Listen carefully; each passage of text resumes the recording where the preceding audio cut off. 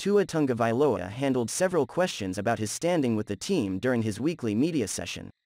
The Miami Dolphins have failed to make a definitive statement about Tua Tagovailoa being their quarterback beyond the NFL trading deadline next Tuesday, but Tua himself is confident that will be the case.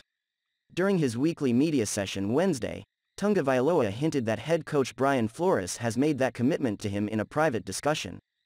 Tua made the comment when he was asked whether it would make him feel good to hear the Dolphins publicly declare their support for him more powerfully than Flores' repeated comment that Tua is our quarterback.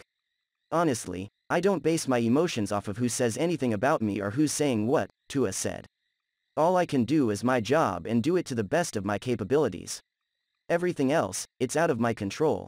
I have the utmost confidence and trust that I am the quarterback of this team and just off of conversations that I've had with Flores and whatnot, obviously stays between us, but, yeah, I feel very confident that I'm the person.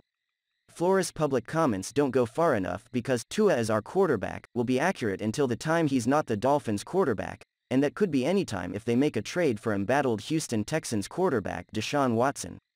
And reports suggesting Dolphins' interest in making a trade for Watson haven't stopped since the offseason, picking up again as the trading deadline approaches. So not surprisingly Tua found himself answering questions, directly or indirectly, about Watson and about his standing with the Dolphins during his media session Wednesday. Tua was forced to deal with those questions because neither Flores nor owner Stephen Ross at the owners' meetings Tuesday have squashed the idea of a Watson trade when given the chance beyond Flores stating that Tua is our quarterback, which again doesn't go nearly far enough in terms of an endorsement. So some of the questions Tua fielded on this day certainly weren't the norm for a starting quarterback and had to be a tad uncomfortable to answer. For example, Tua was asked whether the thought has crossed his mind whether he'll be the Dolphins' starting quarterback at this time next week or whether it'll be Watson. I really don't think about it, Tua said. The only time I'm really hearing about it, like I've said it before, sorry, Director of Media Relations Anne Noland, that I have to bring it up, but if Anne is kind of telling me what's going on within the rumors or if my agent calls me, that's really when I hear it. Other than that, I don't really hear it. Another question dealt with whether Tua would like for the Dolphins to come out and publicly and strongly endorse him. For me, I don't have control over any of that, was Tua's response. For me, I'm just focused on the guys in the building, with my teammates. We don't really have time as professionals, I would say, to be thinking of a lot of outside noise while we're preparing day in and day out for opponents like we have right now, the Bills. And then there was the one asking whether Tua feels wanted by the organization. I don't not feel wanted, Tua said. That's what I can say. It was, quite frankly, an unusual media session, but then again this is an unusual situation that's featured the Dolphins, and all things considered Tua handled himself as well as could expected under difficult circumstances.